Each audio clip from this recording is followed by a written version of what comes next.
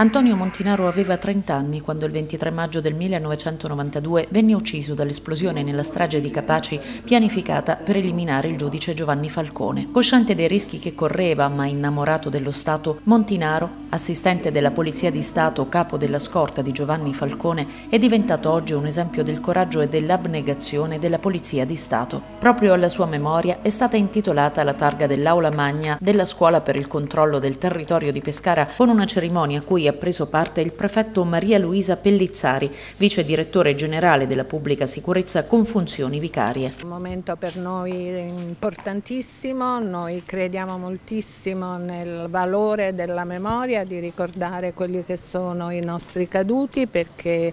sono persone che rappresentano per noi un faro, un punto di riferimento attuale per come deve essere un poliziotto, per i valori che deve avere dentro di sé e nel suo percorso quotidiano. Quindi per noi Antonio Montinaro sono passati 31 anni da quei tragici eventi, ma è sempre in mezzo a noi, nei nostri cuori e nelle nostre scuole. Questa è una scuola, che,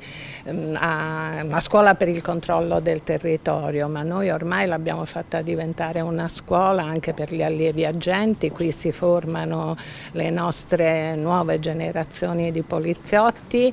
ehm, abbiamo dei valorosissimi e dei bravissimi istruttori e quindi per noi questa è una scuola che mh, rappresenta un punto di riferimento per la formazione. Nel corso della mattinata è stata inaugurata anche la mostra dal titolo Al servizio del paese, frammenti di storia italiana attraverso attraverso le immagini della Polizia di Stato, contenente 25 pannelli fotografici con sette aree tematiche come l'impegno contro le mafie e la lotta al terrorismo. Tra gli invitati alla cerimonia di intitolazione dell'Aula Magna anche Tina Martinez, moglie di Antonio Montinaro. Ma io penso che è il mestiere più bello del mondo, quello del poliziotto,